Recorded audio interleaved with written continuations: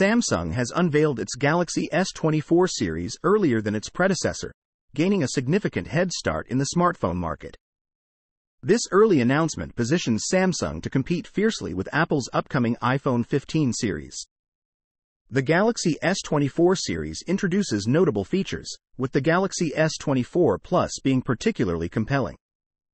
It offers a 1440 by 3120 pixel display with a variable refresh rate, an increased battery capacity of 4900 mAh, and 12 GB of RAM. The standard Galaxy S24, while slightly larger and featuring an LTPO panel and a 100 mAh larger battery, may not provide compelling enough reasons for existing S23 owners to upgrade.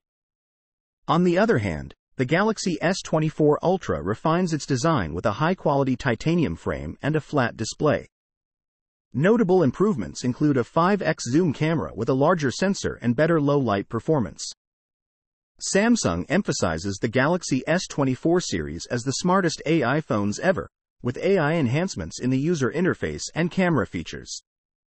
Despite perceptions of the Exynos chipset's inferiority, the Exynos 2400 challenges this notion with competitive CPU and GPU performance.